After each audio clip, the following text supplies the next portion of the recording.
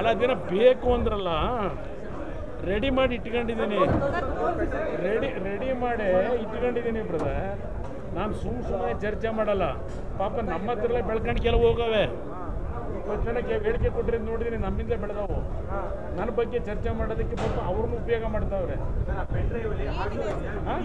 Audio brother audio ಅದು ಬೇಡ, ಅವೆಲ್ಲ ಟೈಮ್ ಬಂದಾಗ ಹೇಳೋಣ ಬ್ರದರ್ ಹೇಳ್ತಾರಲ್ಲ ಸರ್ ಅಲ್ಲ ಸರ್ ವರ್ಗಾವಣೆ ತಂದಿದೆ ಮೇಡಮ್. ವರ್ಗಾವಣೆ ತಂದಿದೆ. ಪೆನ್ ಡ್ರೈವ್ ಇದು. ಇದು ಈ ಸರ್ಕಾರ ಹೇಳ್ತಾರಲ್ಲ ಅದೆಂಥದ್ದು ನನ್ನ ಕೆ ಎಸ್ ಟಿ ನಾನು ಯಾವ ಕೆ ಎಸ್ ಟಿ ಇಟ್ಟಿರಲಿಲ್ಲ. ಕೆ ಎಸ್ ಟಿ ಟ್ಯಾಕ್ಸ್ ಇಟ್ಟಿರಲಿಲ್ಲ ನಾನು. ಮುಕ್ತವಾಗಿಟ್ಟಿದ್ದೆ ನನ್ನ ಆಳ್ತವನ್ನು.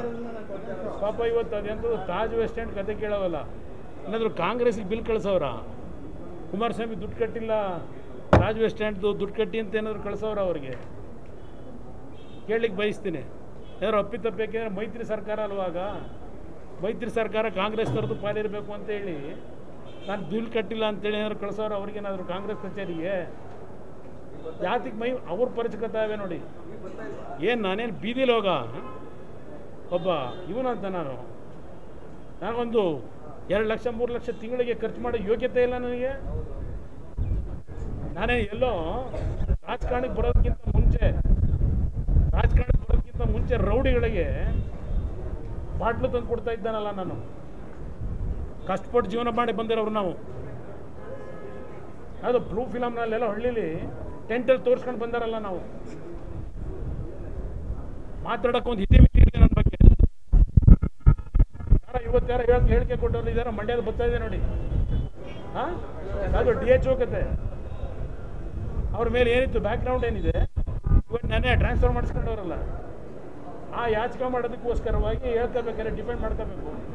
ನನಗೇನು ಆ ಥರ ಯಾಚಕ ಮಾಡೋದು ಏನು ಇರುವುದಿಲ್ಲಲ್ಲ ಅವ್ನು ಯಾವ ಮೇಲೆ ತನಿಖೆ ಆಗಿದೆ. ಉಮ್ಮಾಸ್ತ್ರನ್ನ ಕೆಲಸಕ್ಕೆ ತಗೋಬೇಕಾದ್ರೆ ಲಂಚ ಹೊಡೆದಿರ್ತಕ್ಕಂಥ ಸಸ್ಪೆಂಡ್ ಆಗಿದ್ದಾನು ಇದೇ ಸಿದ್ದರಾಮಯ್ಯವ್ರ ಕಾಲದಲ್ಲಿ.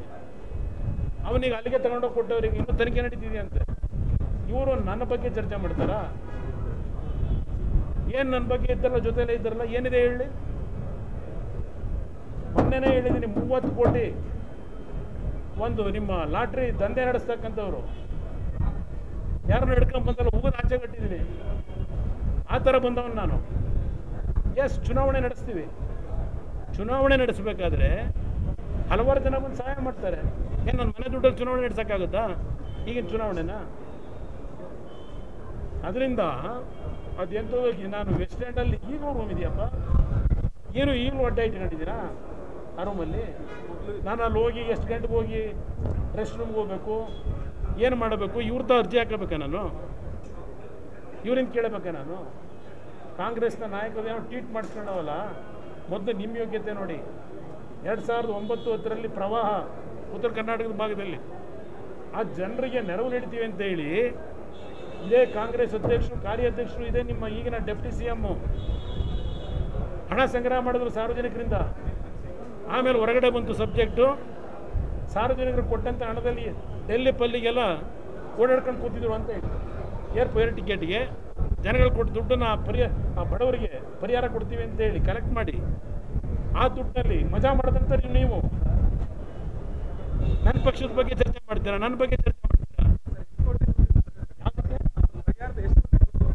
ಅದು ಹಿಂದೆ ನೀವೇ ಹಾಕೊಂಡಿದ್ದೀರಲ್ಲ ಬ್ರದರ್ ಪತ್ರಿಕೆಯಲ್ಲಿ ಅವೆಲ್ಲ ಹಳೆ ಕತೆ.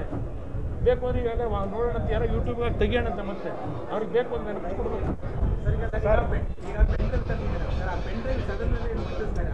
ಬರಲಿ ಬ್ರದರ್ ಸಮಯ ಬರಲಿ. ಸಮಯ ಬರಲಿ. ಪಾಪ ಅವ್ರು ಹೇಳ್ತಾರಲ್ಲ ಯಾರು ದಿನೇಶ್ ಗುಂಡೂರಾವ್ ಮೈ ಕೈ ಪರ್ಚ್ಕೊಳ್ಳೋದು ಬೇಡ ಅಂತಾರೆ ಈಗ ರಾಜಕೀಯದ ತುರ್ಕೆ ಶುರುವಾಗಿರೋದು ಅವರಿಗೆ ಮೈ ಕೈ ಪರ್ಚ್ಕೊತಿರೋರು ಅವರು. ನನಗ ರಾಜಕೀಯ ದುರ್ಗ ಪ್ರಾರಂಭ ಆಗಿಲ್ವಲ್ಲ? ಅವ್ರ ಪದ ಬಳಕೆ ಮಾಡೋದು ಏನು ಮಾಡಿದ್ರೆ ಮೈಕೈ ಪರಿಚಕಬೇಡಿ ಅಂತ. ಆಮೇಲೆ, ಅಯ್ಯೋ ಪಾಪ, ಚುನಾವಣೆ ಸೋತ್ಬಿಟ್ಟು ನಿರಾಶೆ ಆಗ್ಬಿಟ್ಟವ್ರಂತೆ. ಅಧಿಕಾರ ಇಲ್ಲದೆ ಇದ್ದಾಗಲೂ ನಾವು ಆಗಿದ್ದೀವಿ ಅಧಿಕಾರ ಇದ್ದಾಗಲೂ ಮೆರೆದಿಲ್ಲ. ಯಾವತ್ತೂ ನಾವು ಸಮಚಿತವಾಗಿ ತೆಗೆದುಕೊಂಡಿದ್ದೇವೆ. ಸೋತಿದ್ದಾಗಲೂ ಜನಗಳ ಕಷ್ಟ ಸುಖಗಳು, ಜನಗಳ ಸಮಸ್ಯೆಗಳಿಗೆ ಹೋರಾಟ ಮಾಡಿದ್ದೇವೆ. ಗೆದ್ದಿದ್ದಾಗಲೂ ಜನಗಳ ಕಷ್ಟ ಸುಖಕ್ಕೆ ಸೇವೆ ಮಾಡಿದ್ದೇವೆ. ಇವರಿಂದ ನಾನು ಯಾವುದು ಕಲಿಬೇಕಾಗಿಲ್ಲ ಇವರಿಂದ ನಾನು ಕಲಿಬೇಕಂತ ದರಿದ್ರ ಗೊತ್ತಿದೆ ನನಗೆ.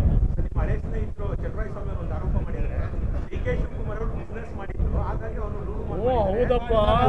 ಹೌದಪ್ಪ. ಮಾಡಲಿ ತನಿಖೆ ಮಾಡಲಿ. ತನಿಖೆ ಮಾಡಲಿ.